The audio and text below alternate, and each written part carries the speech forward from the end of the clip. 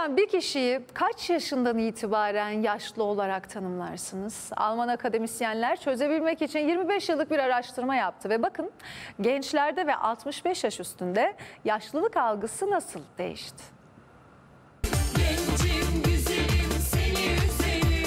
Size göre kaç yaşındaki bir kişi yaşlı sayılır? 75. 65. 17 yaşındaki de zihnen yaşlıdır bence. 65 yaş üzeri kendini yaşlı görmedi. Gençlerse aynı fikirde çıkmadı.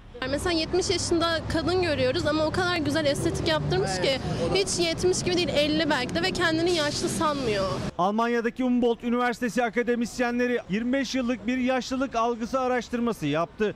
1996'dan 2021'e kadar 14 bin Almanla 8 defa anket gerçekleştirdiler. 75 diyoruz. Siz kaç yaşındasınız? Ben de 75 yaşındayım. Kendinizi yaşlı mı görüyorsunuz? Ben görmüyorum ama herkes amca diyor.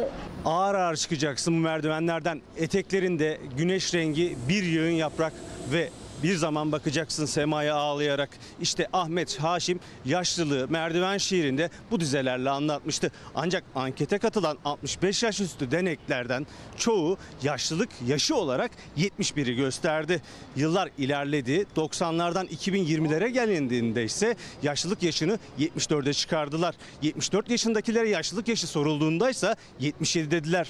34 doğumluyum. Bizim soy 100-110'a kadar gidiyor. E, onlara göre ben daha iyiyim yani. Kimse kabul etmez ki zaten yani. Ben 60 yaşında olsam 65-70 derdim ben de. Ben 65'in üzerindeyim. Yaşlı mısınız sizce? Değilim. Sorunun muhatabı 25 yaş grubunun verdikleri yanıtsa bir hayli kırıcıydı. Onlara göre 25 yıl boyunca yapılan anketlerde yaşlı tanımı 66 yaşına tekabül ediyordu. Öyle mi sence de? Hayata göre, şartlara göre yaşlıdır. Peki size göre 66 yaşındaki biri yaşlı mıdır efendim? Hayır, genç bence. Şimdi yaş ortalaması değişiyor. 66 o yaş civarından sonra artık insan istediği gibi hareket edemiyor. Fiziksel kondisyonu yeterince güçlü olmuyor. Şimdiki gençlerde çünkü pek güç şeysi noksandır. Eski insanlar gibi yani pek dayanıklı değiller, çok yaşamazlar.